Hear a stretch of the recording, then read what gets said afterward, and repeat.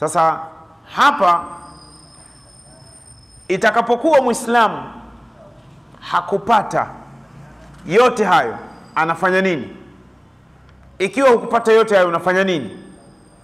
Unaswali rakaa mbili za duha Rakaa mbili za duha unaziswali. Ndugu zangu, kuna baadhi ya sala za sunna zimetupotea sana Waislamu na tumeziacha, na kuna watu wengine wanakuwa na uvivu, anakuwa na uvivu wa kusingizia ati anafata sunna. Ambia hiyo swala ime- imethibiti, hiyo imethibiti, hiyo sala duha. Mtume sallallahu alaihi wasallama, ukisali rakaa mbili za duha, ukisali rakaa mbili za duha, ina maana unakuwa umetoa sadaka mia tatu na sitini. Ina maana wewe hukuweza kuamrisha mema, hukuweza kufanya jambo lolote, hukuwarekebisha watu, hukufanya nini, lakini una rakaa mbili umeziswali za dhuha, unakuwa tayari umeziba lile pengo. Ndugu zangu, dhuha inakwisha wakati gani? Swala ya dhuha inakwisha wakati gani? Ndugu zangu, swala ya dhuha inakwisha kwa sasa hivi kwa Dar es Salaam. Hivi sasa Dar es Salaam jua linapinduka saa ngapi? Saa sita na dakika ngapi jua linapinduka? Naam, naam, saa sita dakika tano au dakika kumi? Naam, ni kweli. Kwanza jua linachomoza saa ngapi Dar es Salaam sasa hivi? kumi na mbili na dakika ngapi? Ha? na 42 saa 12 kamili. Ndio jua linachomoza? Na? 12 na dakika 15 mbona kunakuwa bado kuna kiza? Au tuseme na dakika 25 na dakika 25 maanake kulifuatilia jua linachomoza vipi ina maana baada ya kutoka alfajiri ni kuliangalia kule linakotokea. Ina, yani uache kazi ufanye kazi. Na huku naangalia saa sawa. Kwa hiyo ina maana itabidi ukae kuanzia kumi na mbili kamili unaangalia jua linakotokea mpaka kumi na mbili na nusu uhakikishe kwamba linachomoza muda gani. Kuna baadhi ya misikiti mashallah wana saa zile zinakuwa zinaonyesha kwamba jua linachomoza saa ngapi linachomoza saa ngapi na linakuwa wakati wa nini linakuwa ni saa ngapi.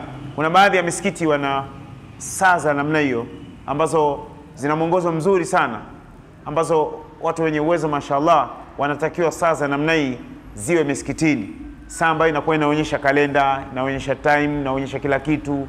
Yani ni saa inasetiwa. Sawa?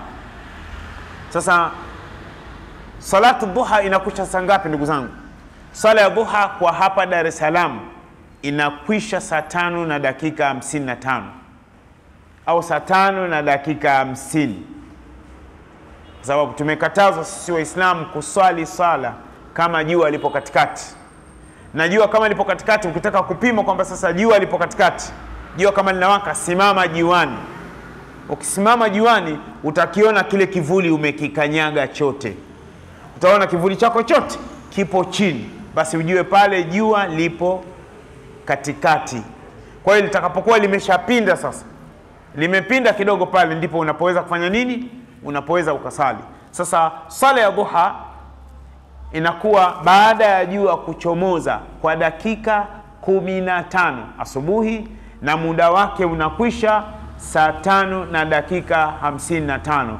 Kila eneo linakuwa na mawio yake na machweo yake. Kwa hiyo usilinganishe ma, machweo ya dar es salaam yakafanana na wapi? Na kigoma mfano.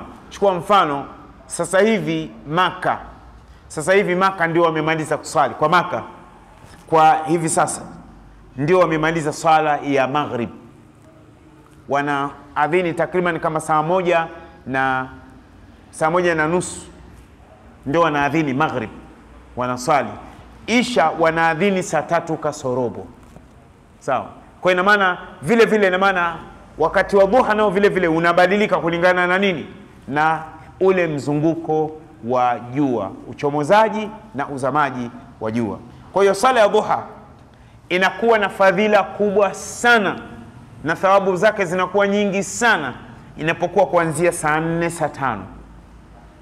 Mtume akasema salatu duha hina tarmadhu lfisal sala ya duha fadhila zake ni pale ndama wangamia wanapokuwa wanababuka zile kwato zao. Ni kipindi kizuri sana na inaitwa ni salatu lawabin sala ya watu wema. Mi ningewaomba akina mama wanaonisikiliza hapa kupitia msikiti wa mwenye mkuu. Hapa na sauti inafika mpaka kule mikumi na mpaka mikumi darajani kule. Sawa na sauti inafika mpaka hapa karibu na duka kubwa hapa. Sawa sauti inafika.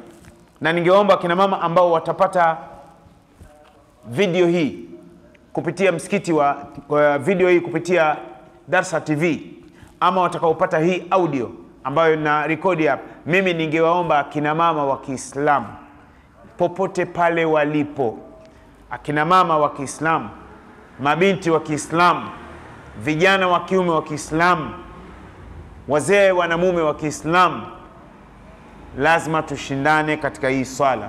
Salatu duha salatu duha. Mama aisha radhiyallahu anha ilikuwa ikifika wakati wa swala ya dhuha, anamwambia jaria wake yani binti yake ya kazi. Anaambia kuna jambo hili kuna jambo hili. Anampangia kazi zake pale majukumu yake. Alafu anaingia chumbani. Hata kama atakuja mtu anamwambia mama au mama aisha radhiallahu anha yupo anasali. Kwa hiyo akina mama sawa akina mama chukueni hiyo. Kwa mfano upo nyumbani unaingia chumbani kwako umeshatawadha unaswali rakaa mbili. Sawa. Kwanza unaweza ukapiga rakaa mbili za udhu sali rakaataini sunnata ludhu lillahi taala allahu akbar. Sasa sala ya dhuha ina uradi wake. Ukirejea katika aladabu lmufrad ya imam albukhari rahimahullah sala ya dhuha ina uradi wake. Baada ya kumaliza. Ukishamaliza sala ya dhuha unaweza ukaswali raka mbili unaweza ukaswali nne na unaweza ukaswali nane. Sawa unaweza ukaswali nane. Yani rakaa mbili salamu. Rakaa mbili salamu.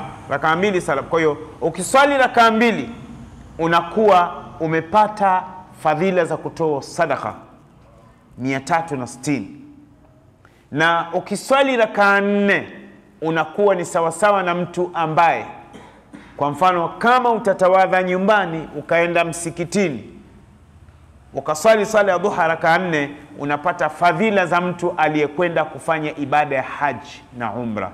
Lakini usipitie humo mubahili wenyewe wasema mi kila siku na hiji. Mi mbona na hiji kila mwisho? Ni nyinyi tu. Mi maka sihitaji kwenda. Naipata katika unaipata vipi? Sema katika sala ya dhuha sawa. Mi sadaka nimetoa. Nimekuta kuna uchafu uchafu barabarani. Hapana. Usipitie mgongoni humu kwa ajili ya kutaka ku, kuziwa kwa hiyo na kuombeni. Kwa hiyo ukishatoa salamu kwenye sala ya duha ina uradi wake. Rabbi ighfir warham wa anta arhamur rahimin. Rabbi ighfir warham wa anta arhamur rahimin. Rabbi ighfir warham wa anta arhamur rahimin. Rabbi ighfir warham wa anta arhamur rahimin. Huu ni uradi ambao utakwenda nao. Ni uradi ambao utakaokwenda nao katika sala ya duha. ukimaliza sali ya mtume sallallahu alaihi wasallam nyanyua mikono yako sema shida zako. Sababu ni wakati bora. Na halafu kwa nini nakuwa ni bora? Kwa sababu mwenyezi mungu subhanahu wa taala anaona anasema kwamba mja wangu huyu ameacha mambo yake yote. Mwanamke huyu wa kiislamu binti huyu wa kiislamu kijana huyu wa kiislamu. Huyu bana ameacha kwa mfano kuna wale ambao wanakuwa na mabosi maofisini. Anakuwa na chumba chake maalum ofisini. Sawa wale wafanyakazi wake wakati mwingine inabidi wabishe hodi kwa bosi. Lakini ana muda maalum. Na inawezekana kule kule wale wafanyakazi wake wameshamzoea. Eh, sanga ah, time kama hii bosi anaswali time anaswali sawa. Sasa nakuombeni ndugu zangu tupambane tupambane katika hii swala ya dhuha. Wa fi dhalika falyatanafasil mutanafisun. Washindane wenye kushindana. Tushindane tusishindane kwenye mpira